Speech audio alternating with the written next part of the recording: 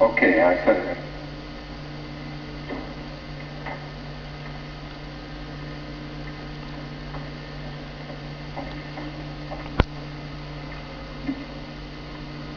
Okay, now to set this back in operation, we set up a resonance between various crystals in here.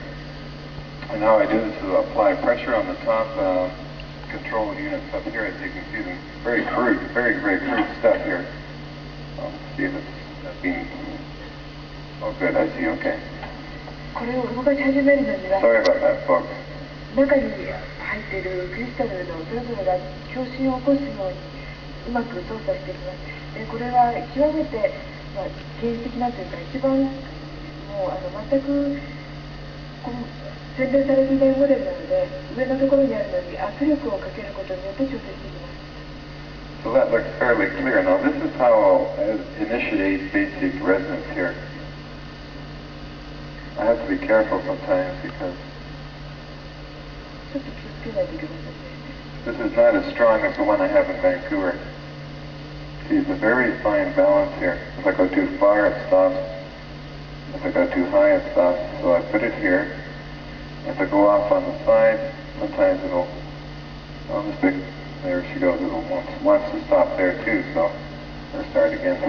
アンクーラーがあるのでもっと大きくていいんですけれどもこれはあのちょっとチャチなんで気をつけてやらなくちゃいけませんがちょうどいいところにしてやらないと圧力をかけすぎてもいけないわけでちょうどいいところにしてやらないといけない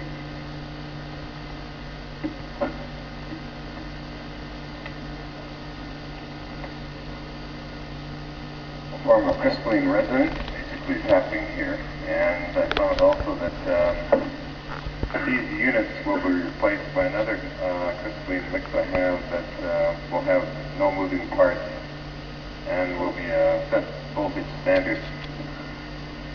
I have actually a few of them here, um, but I'm not going to demonstrate them. I haven't got enough juice to push this motor around.